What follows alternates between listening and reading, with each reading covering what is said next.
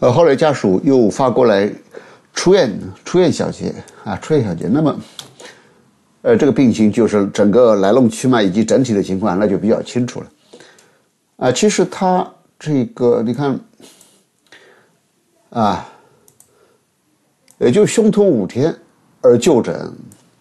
啊，这么严重的病情，肝癌、肝内转移、双呃上腹部转移、双肺转移这样严重的病情，居然。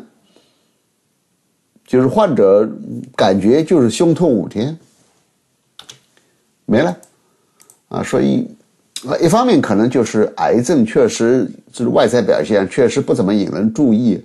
但是这里面是否也有这种患者有点缩小这个病情，让不要让家里人或者让让让子女过分的担心，是不是也有这样的因素？啊，这个平素健康一般，然后是。否认肝炎，但实际上它是有肝炎的，啊，主要是肝炎引起的，因为因为，呃，下边这个有附带一个这个乙肝病毒的化验，啊，乙肝病毒的化验，啊，这个就是严重超标。啊，所以，啊，所以一个如此。这个已经发展到如此严重的癌症，而且是甲胎蛋白如此高的情况下，患者主观感受只有胸痛五天，所以啊，所以这个癌症呢，这个啊，而且应该讲患者就是目前的情况，如果是所以医就是怎么讲呢？就是不能说患者，就整个患者的家庭应该感觉患者应该是没什么，因为只有胸痛五天，所以就是我讲的，就是。呃，癌症分期里面就是分三期，第一期就是患者呃是就是是早期，那是就是根治，还有一个就是晚期。这个晚期呢是我的标准，就是说患者病家自己都感觉不行了，一看这个外形就就一塌糊涂了，他也不不愿意投钱了。那么最麻烦的呢就是目前这个患者的期，就是他只有胸痛五天，其他没啥。对不对？如果是其他有啥，老早就就医了，就只有胸痛五天，然后呢，实际上病情已经非常严重了，根本是不可根治了。而他的外形，他如果他的根据外在表现判断，他愿意大把花钱。所以，实际上我跟家属后来交流下来，我发现他来与我联系，不是来说这里面医疗有什么猫腻啊不猫腻的，而主要是问还有什么更好的办法，他愿意花钱。所以这个是真是麻烦的事情，对吧？所以，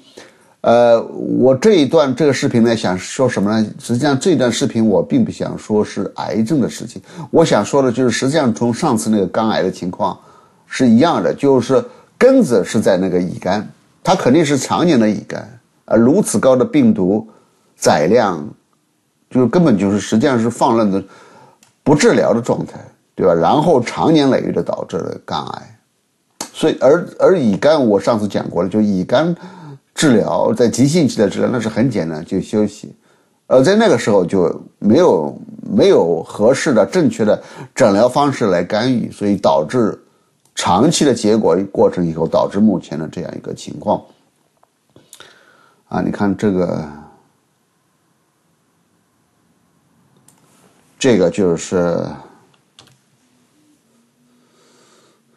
对吧？NT 卡维抗乙抗乙肝病毒治疗，NT 卡维抗乙肝病毒治疗啊。但是如果是早二十年前、三十年前，就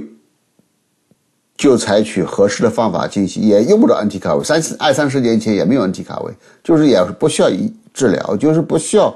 不需要这个药物的治疗，就是啊抗病毒治疗是需要的啊抗病毒治疗是需要的，而这个抗病毒治疗。仅仅需要卧床休息就可以，就可以了。但是，这个事情应该发生在二三十年前，就不会有目前的不病情。所以，所以一而再、再而三的发生这样的情况，是反复提醒我们，啊，对这个乙肝病啊要重视。而乙肝病重视又是老生常谈，老生常谈谈就是一直没有结果，到现在为止还是。这样一个情况，不断的因为乙肝导致肝肝癌，所以，啊，所以我们应该对这个世界有清醒的认识，就是说，一个口号说出来要落实到行动啊，往往这个之间要相差，